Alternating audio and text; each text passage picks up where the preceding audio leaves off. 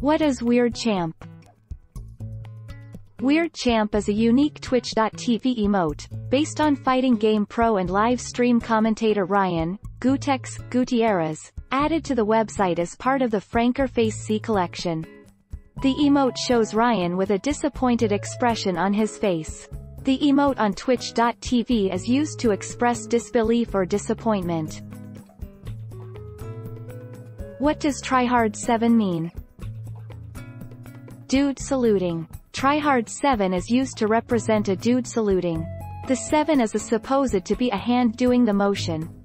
Tryhard7 has been used for years because the head happens to align very well with where the hand of the 7 is.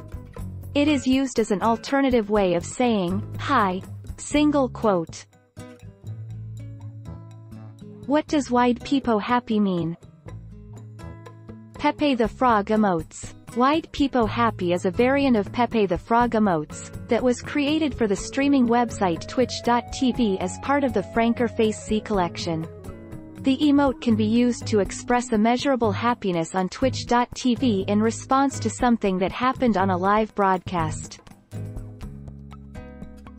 What is PogU? PogU is a variant of the original Twitch.tv emote called PogChamp. The emote on Twitch.tv is used to express excitement, shock or even surprise, usually spammed alongside with its original version to create more hype. Don't forget to subscribe for more of these videos.